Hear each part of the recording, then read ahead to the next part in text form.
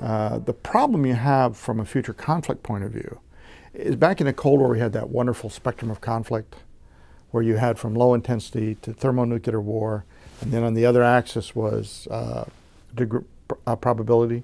Very high probability you'll do peacekeeping and peacetime training, but very low consequences. The low end consequences to high end.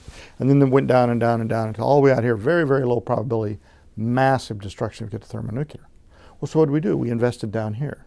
We invested to prevent the big war. All these were going on all the time, but we could safely invest here. This is what you had to prevent. Well, now we bring in Frank Hoffman's concept of, of uh, hybrid war, which is more lethal and more frequent and that bumps it, puts a bump in it. Well, as we begin to move into the nano and bio revolution, we're going to see the ability for huge spikes, where a very limited number of people, maybe even one, can create massive destruction power. And I think uh, the anthrax attack on Capitol Hill is probably a demonstration of that.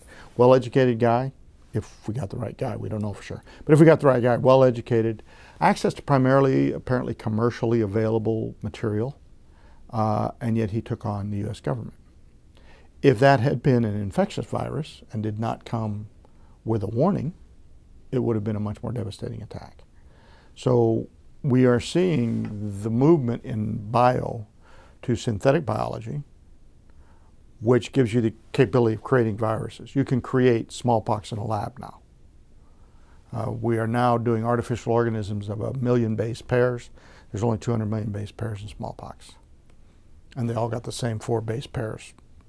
So also available on the internet, you can order, and the genome for, for smallpox is on the internet. So literally a couple, uh, potentially one guy in a small lab could create smallpox.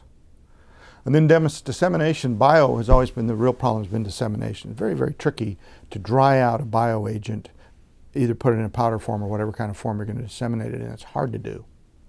So use people.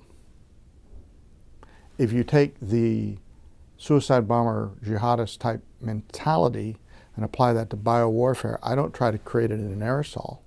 I simply infect you and 20 friends. Then I put you on airplanes.